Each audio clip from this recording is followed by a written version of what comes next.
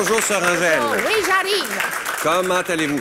D'abord, bonne année. Merci. la première émission du mois de janvier. Je vous souhaite que de la santé. Le reste, on peut s'en occuper. Non, parce que moi, j'ai décidé de tourner la page 2012 pour faire face à la, la merveilleuse année 2013. 2013. Bonne année à vous aussi. Que de la santé, la prospérité, de la paix, de la paix. Et quand on a la santé, on peut s'occuper de tout le reste. On est toujours sur Angèle au manoir Sainte-Julie, les résidences du Soleil. Oui. Merci de nous accueillir chez vous. Bonjour, bienvenue à votre émission La Victoire de l'amour. J'espère qu'on se prépare à vivre une belle journée. J'en profite à vous aussi pour vous souhaiter la plus belle des années 2013. Et cette année, si on pouvait prendre la décision pour une fois de dire je vais essayer de suivre Jésus pendant cette année 2013 et quand on décide de le suivre pour de vrai, là, tout là. change dans notre vie. Oui, et tout va bien. Et tout, on Et se on sent plus épreuves, léger. on quand on a des épreuves... Ah oui, oui, oui, parce Vous qu'on savez, c'est pense quoi, à il y a lui. un an, vous, vous, ça allait moins bien. Ça allait vraiment pas bien du tout. mais seulement, j'ai tourné la page. Exactement. Et je respire, je garde l'espérance. Aujourd'hui, sur Angèle, on a une très, très belle émission. On rencontre quelqu'un, il s'appelle M. Walter Desouza. Imaginez, il a prêché la bonne nouvelle à plus de 1 200 000 personnes Mon à travers Dieu. le monde. C'est un bon. grand prédicateur. Il chante aussi. Il va même chanter à la toute fin de l'émission. On a en chanson Quand les hommes vivront d'amour avec Caroline, chanson que j'aime tellement et qui va bien avec euh, le témoignage. Et en homélie, celui qu'on aime tant, l'abbé Raymond Gravel. Je vous souhaite une belle émission et sur Angèle, je vous laisse aller en mission. Oui, puis là, là, faites attention à vous, je vais peut-être vous attraper. Ouais, à tantôt. OK. Bonjour, Walter. Bonjour, bonne année. Sylvain. Bonne année 2013. Merci beaucoup. J'aimerais qu'on recule dans le temps. Comment avez-vous découvert Dieu dans votre vie, Jésus de Nazareth? Bien, je suis né dans une famille euh, chrétienne et euh, j'ai tout balayé ça dans mon adolescence, mais Dieu amenait des personnes dans ma vie pour me parler de Jésus. Puis là, je dis, oh non, vous êtes pareil comme ma mère, laissez-moi tranquille. là. On parle de la fin des années 60, début 70. Et euh, je me souviens, j'étais dans un concert de Black Sabbath. Oh my euh, God. Oui. Euh, Place des Nations, 10 000 jeunes.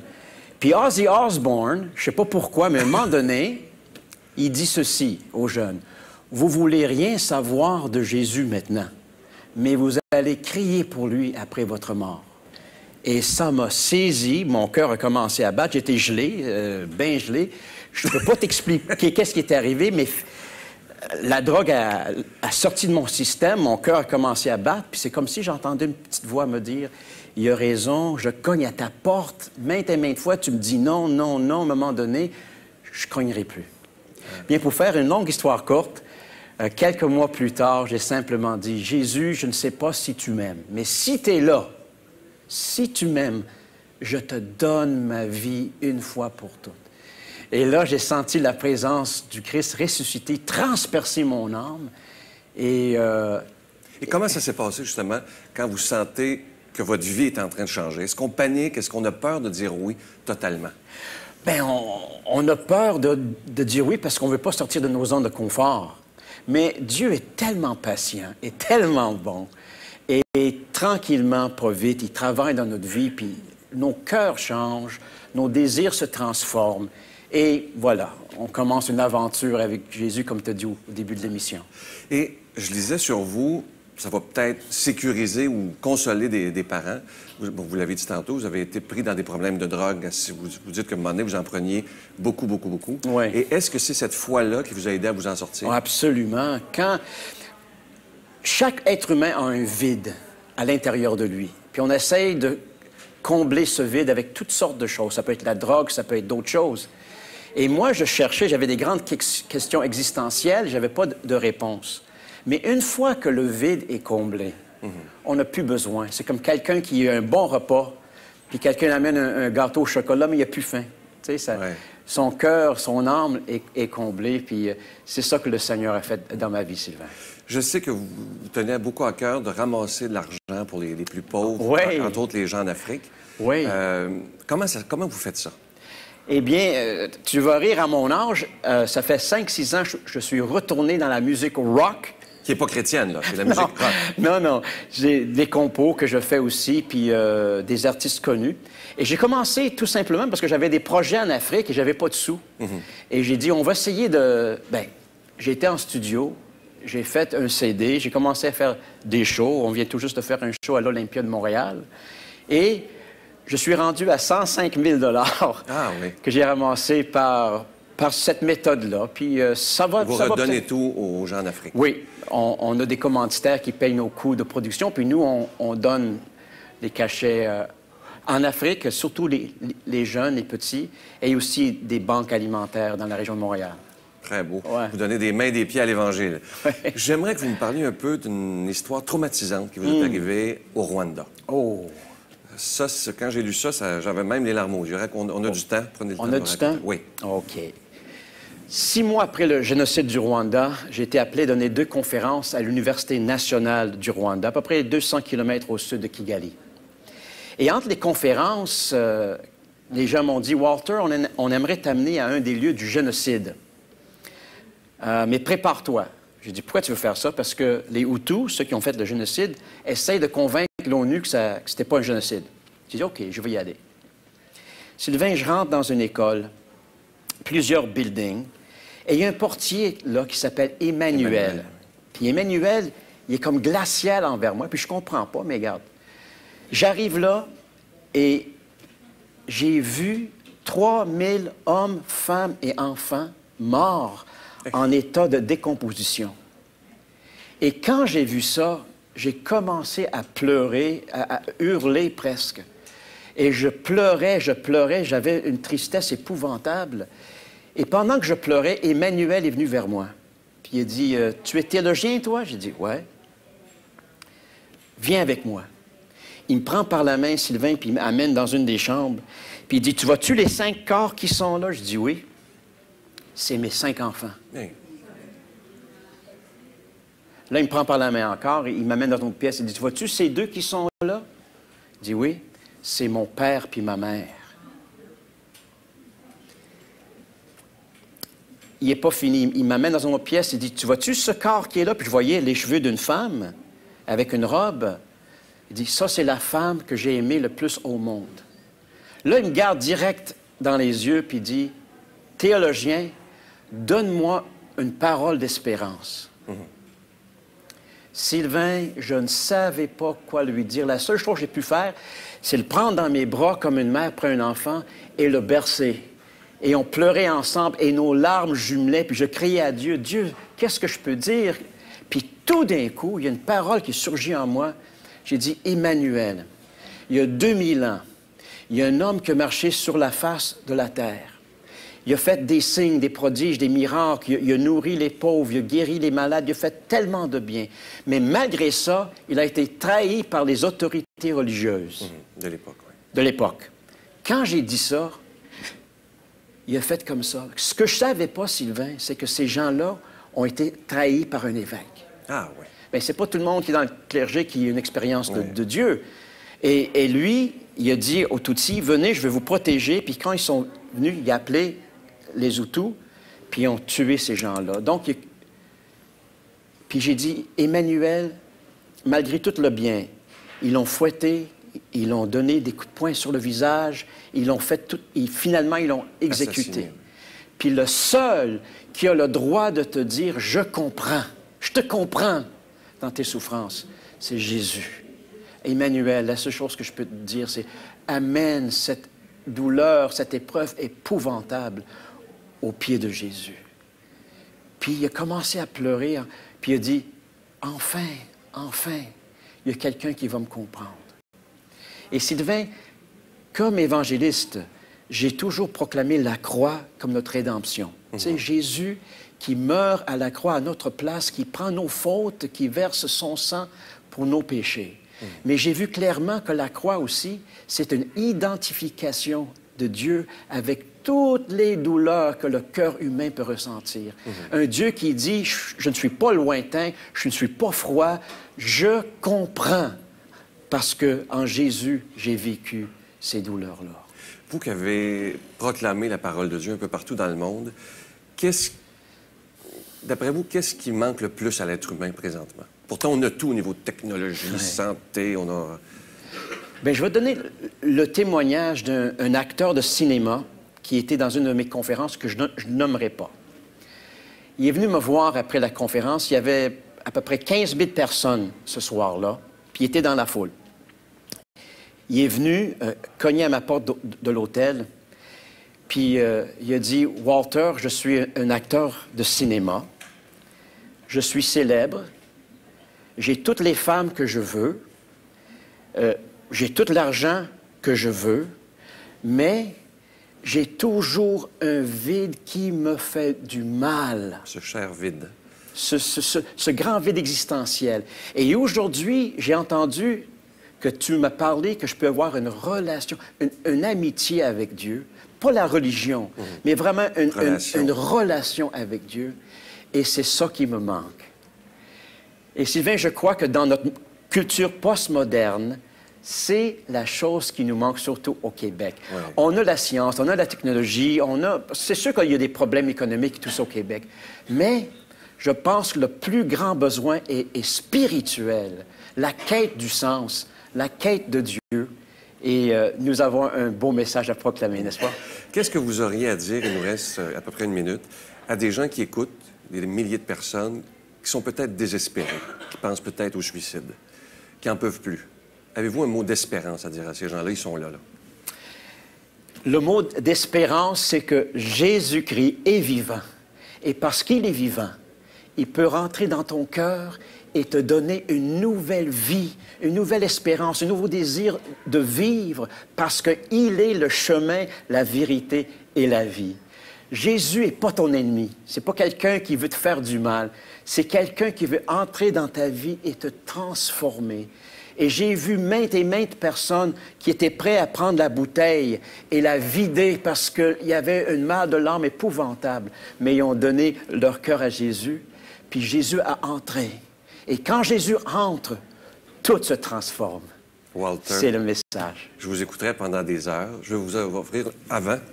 Je veux parler de ce disque-là. Vous allez chanter à la toute fin de l'émission. OK. Le disque, on peut se le procurer où? iTunes. iTunes, parfait, Ouais, alors les gens connaissent ça. Mais juste avant, je vais vous présenter, vous offrir une belle chanson qui va bien avec vo- votre témoignage de Caroline Guillemin, Quand les hommes vivront d'amour. Merci.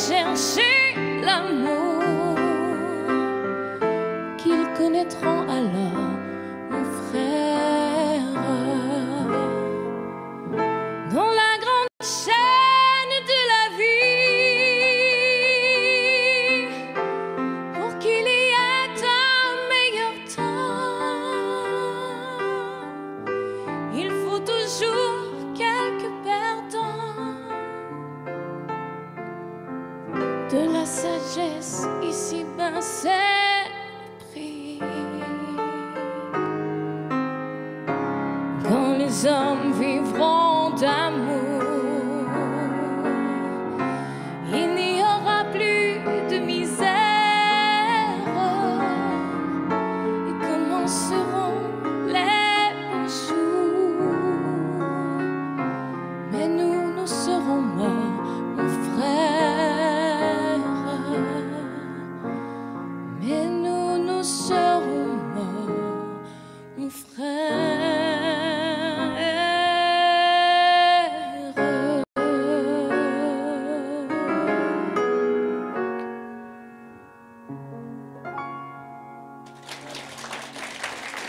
Cette émission vous est présentée par l'organisme catholique La Victoire de l'amour.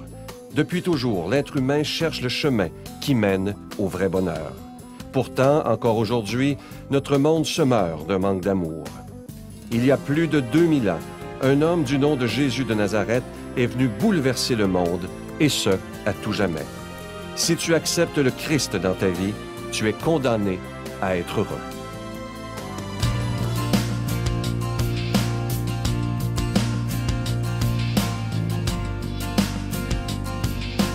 Un jour, Walter me disait qu'il était, euh, qu'il il avait euh, des- un regret dans sa vie, c'est de ne pas avoir eu d'enfant.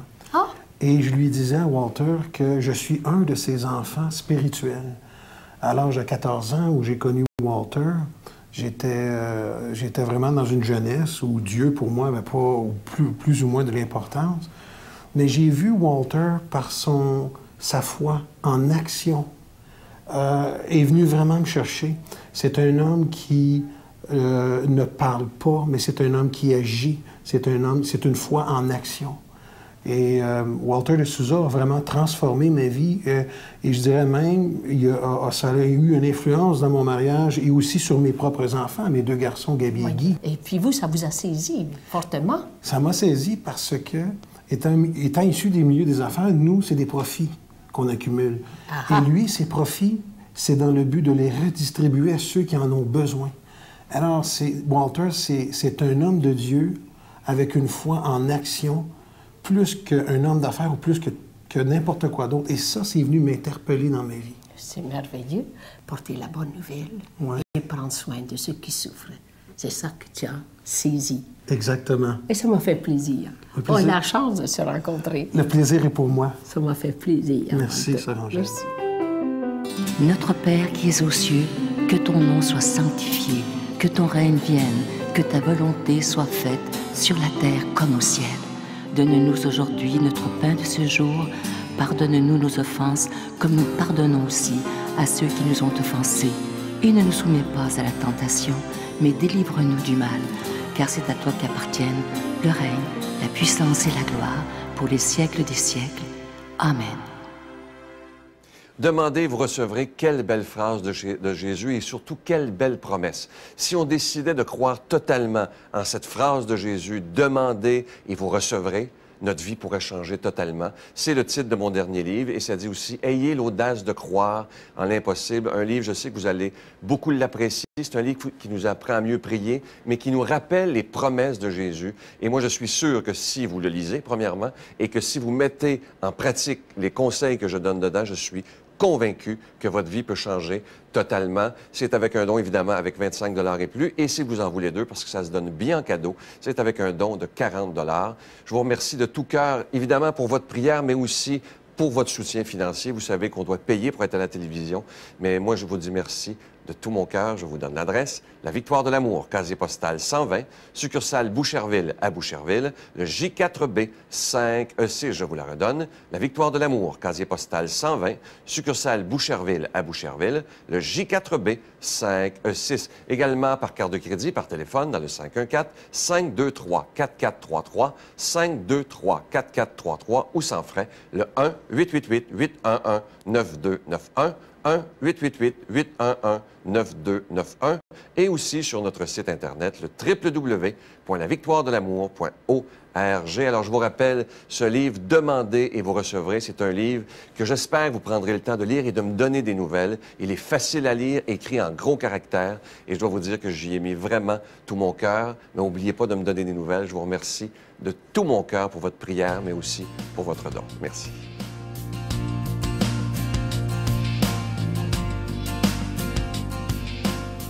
Bonjour, en cette fête de l'Épiphanie, c'est l'évangile de Saint Matthieu. Jésus était né à Bethléem en Judée, au temps du roi Hérode le Grand.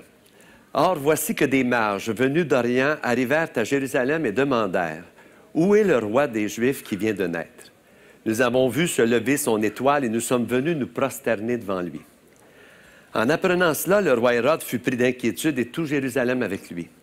Il réunit tous les chefs des prêtres et tous les scribes d'Israël pour leur demander en quel lieu devait naître le Messie. Ils lui répondirent à Bethléem en Judée, car voici ce qui est écrit par le prophète. Et toi, Bethléem en Judée, tu n'es certes pas le dernier parmi les chefs-lieux de Judée, car de toi sortira un chef qui sera le berger d'Israël, mon peuple. Alors Hérode convoqua les mages en secret pour leur faire préciser à quelle date l'étoile était apparue. Puis il les envoya à Bethléem en leur disant, Allez vous renseigner avec précision sur l'enfant, et quand vous l'aurez trouvé, avertissez-moi pour que j'aille moi aussi me prosterner devant lui. Sur ces paroles du roi, ils partirent. Et voilà que l'étoile qu'ils avaient vue se lever les précédait. Elle vint s'arrêter au-dessus du lieu où se trouvait l'enfant. Quand ils virent l'étoile, ils éprouvèrent une très grande joie. En entrant dans la maison, ils virent l'enfant avec Marie, sa mère, et tombant à genoux, ils se prosternèrent devant lui. Ils ouvrirent leur coffret et lui offrirent leurs présents, de l'or, de l'encens et de la myrrhe. Mais ensuite, avertis en songe de ne pas retourner chez Hérode, ils regagnèrent leur pays par un autre chemin. Quel beau texte d'évangile. Aujourd'hui, vous savez que c'est la deuxième fête de Noël, la fête des Orientaux, le Noël des Orientaux. Nous, les Occidentaux, on a conservé la fête de la lumière du 25 décembre. Mais les deux fêtes nous parlent de la naissance du Christ ressuscité. Et c'est toujours à partir de la foi pascale qu'on écrit ces textes-là. Alors, ça veut dire que Matthieu s'est inspiré des textes de l'Ancien Testament, du prophète Isaïe, où on voit Isaïe, après l'exil, qui dit il y a un pèlerinage qui s'organise à Jérusalem où des rois vont venir porter des présents. Et là, Matthieu nous dit que le témoignage se fait à partir de, de Bethléem et non pas de Jérusalem. Sauf que il faut absolument que les mages passent par, Bethléem, par Jérusalem, parce que ce sont là, c'est là que sont les spécialistes de la Bible. Et les mages ont besoin de la Bible pour s'orienter, parce qu'on parle du Christ ressuscité qui vient de naître. Alors c'est pourquoi les mages vont se rendre à Jérusalem consulter les principaux responsables de, de le roi Hérode d'abord et tous les scribes d'Israël qui, eux, sont des experts de la Bible. Et là, Matthieu veut nous dire trois choses. Il veut nous présenter trois types de personnages dans ça. Alors, le premier type de personnage, c'est ceux qui détiennent le pouvoir. Et ça ressemble beaucoup à aujourd'hui. Hein? Alors, le roi Hérode se sent menacé par ce Messie qui vient de naître. Il a peur à son, à son titre de roi parce qu'on dit que c'est un descendant de David. Alors, le roi Hérode va vouloir éliminer ce Messie-là. Et encore aujourd'hui, quand on est en autorité, il nous arrive parfois qu'on se sente menacé et qu'on ne veut pas faire prendre notre place. On voit ça encore aujourd'hui dans bien des États dans le monde. Alors, les dirigeants sont là, puis on dirait qu'ils sont là pour rester. Et même si on fait des pressions pour qu'ils sortent, ils restent là. On voit ça en Syrie actuellement, on voit ça un peu partout. Le deuxième type de personnage qu'on voit dans, dans ce texte-là, c'est ceux qui savent. Alors, les scribes, les prêtres, les grands prêtres d'Israël savent que le Messie doit naître à Bethléem. Ils ont lu la Bible, ils l'ont bien interprétée. Sauf qu'ils ne bougent pas. Ils s'assoient sur leur doctrine et leur savoir, et même s'ils savent que le Christ est né, Ils ne bougent pas parce que leur doctrine est plus importante que la foi. Et ça, encore aujourd'hui, il arrive malheureusement que dans notre Église, ceux qui sont en autorité, ceux qui savent, font la même chose qu'eux.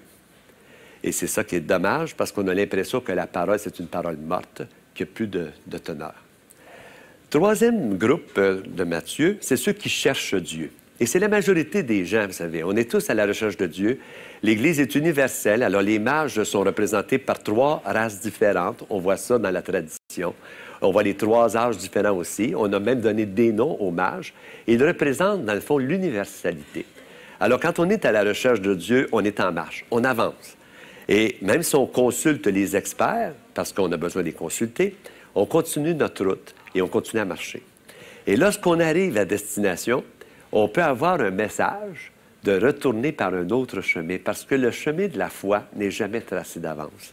Et il se peut qu'on soit invité à prendre un autre chemin que celui qui est proposé par les autorités religieuses.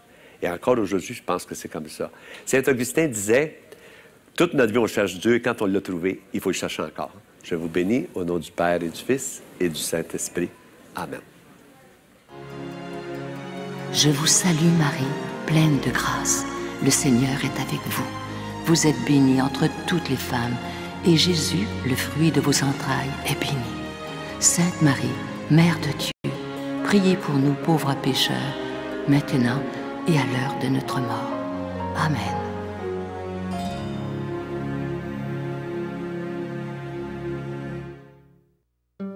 Dans le cadre de l'année de la foi, la Victoire de l'amour vous invite à son pèlerinage du 2 au 13 mai 2013. Nous irons ensemble à Paris, Versailles, Saint-Malo, le magnifique Mont-Saint-Michel, Chartres et Lourdes, en compagnie de Monseigneur Jacques Gaillot, Miguel Padilla et moi-même. Célébration eucharistique à tous les jours et enseignement. Réservez rapidement avec Voyage Intermission dans le 514-288-6077 288-6077 ou sans frais le 1-800-465-3255, 1-800-465-3255. Venez vivre des moments inoubliables en compagnie de celui qu'on appelle Monseigneur des Autres, Monseigneur Jacques Gaillot de Paris.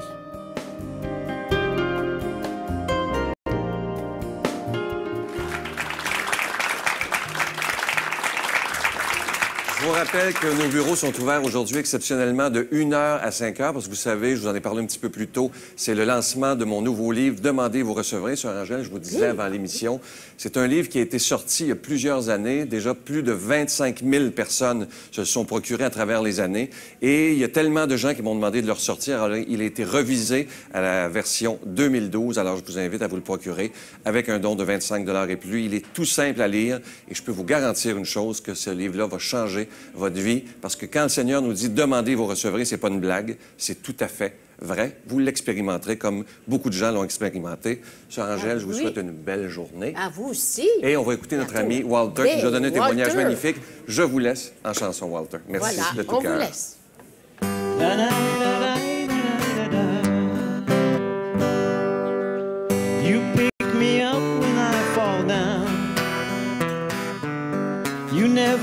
Never close your door. You're the one, the one I love, and I will love forevermore. And even if my friends forsake me, your faithfulness is strong and sure.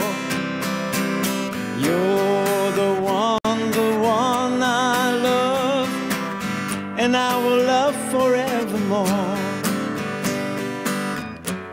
How could I ever think of leaving such sweet love? My heart and soul would sink into oblivion. And when my earthly life is over, La Victoire de l'amour remercie de tout cœur les résidences Soleil de leur accueil si chaleureux.